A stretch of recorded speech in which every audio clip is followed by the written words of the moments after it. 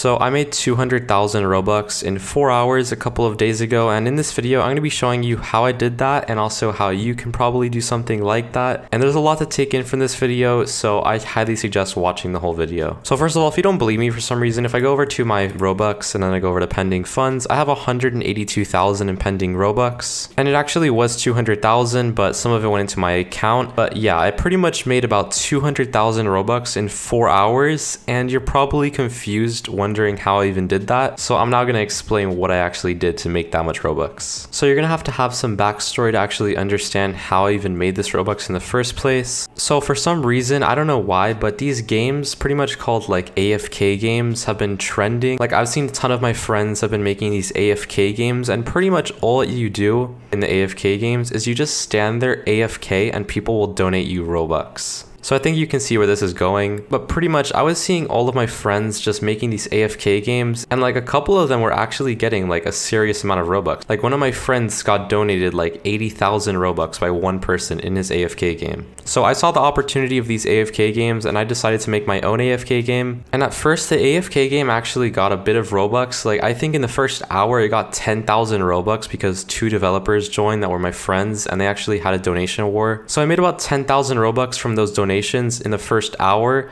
and that was around April Fool's Day. So I was like freaking out on April Fool's Day when I had like 10,000 Robux in the pending funds. So I had my AFK game and those two donations totaled to 10,000 Robux in pending funds, which was pretty good for me at the time. Like I was actually really surprised that I even got 10k Robux in pending funds. But I was like wondering how I could get more players because I wanted to get more players because that would be the easiest way to get more donations. So I came up with the idea to just live stream the game because usually when I live stream, I get around 500 viewers. And for some reason, when I live streamed, I actually maxed at like 850 viewers or something. So I don't even know why it was so high, but I had around 800 viewers. And then I just joined my AFK game and out of nowhere we started to get huge donations. So when I started streaming, I instantly got a ton of players into my AFK game, and I think the most players that I got during the entire stream was around 305 players in the game, which is a lot of people for one Roblox server. And it looks something like this. So when you have 300 people in a Roblox game, there's a pretty big chance that some of them are going to donate, and then that's what actually started happening. We had some developers in the game that had a lot of Robux, and then from there we had two people who actually donated